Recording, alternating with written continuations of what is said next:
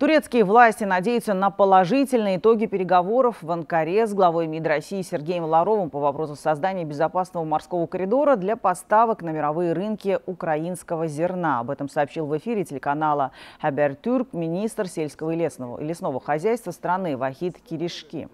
По его словам, для вызова из двух украинских портов порядка 20 миллионов тонн зерновых необходимо разминировать их акватории. В районе портов находится около 70 судов, из них 22 турецкие. Телеканал ТРТ во вторник сообщил со ссылкой на источники в администрации президента Турции, что механизм реализации дорожной карты поставок украинского зерна готов на 80-90% и при достижении соответствующих договоренностей с Россией проект может быть запущен в кратчайшие сроки сроки.